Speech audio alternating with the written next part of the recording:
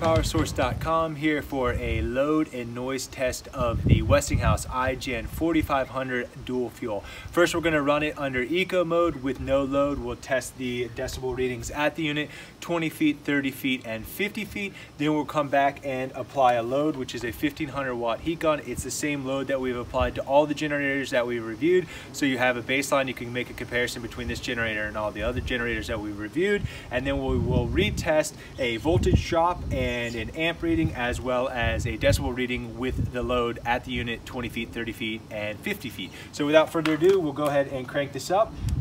Nothing is running. As you can see, we'll go ahead and click over to eco mode. You can hear that throttle down and we'll turn on the decibel meter. First, I will get an ambient reading for you so you know what the ambient noise is before we test this.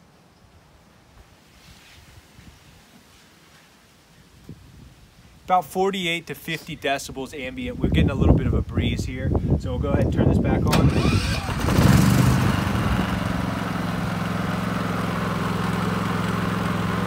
outputting 124 volts, which jives with what we're seeing on the front LED here. 124, 124 on the meter. About 80 decibels at the unit and we'll go to 20 feet.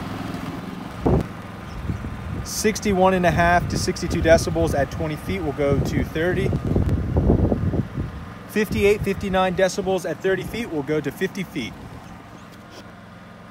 55 decibels at 50 feet. Now we're gonna go ahead and apply the load. Again, a 1500 watt heat gun. All right, now we're gonna go ahead and engage the heat gun on high mode and we will watch the voltage drop first before we get a decibel reading. So watch the voltage drop as we engage the heat gun.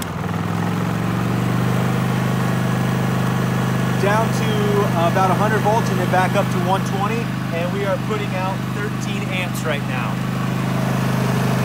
So we'll turn that off and we'll do that again. Here you can watch the amp as well as the voltage meter when I engage this. Three, two, one.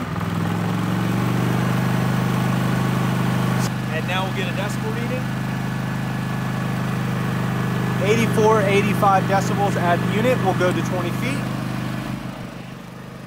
68 and a half decibels at 20 feet. We'll go to 30.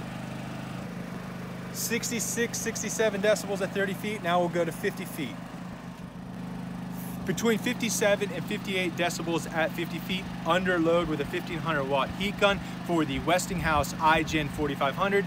Thanks for watching guys. Next we're gonna test this on a travel trailer where we test the AC which is a 13,500 BTU AC, the electric fireplace, the electric hot water heater, etc. So we'll do that next. Thanks for watching, subscribe, give us a thumbs up. It's what helps us to keep going. We'll be back next time for more video reviews.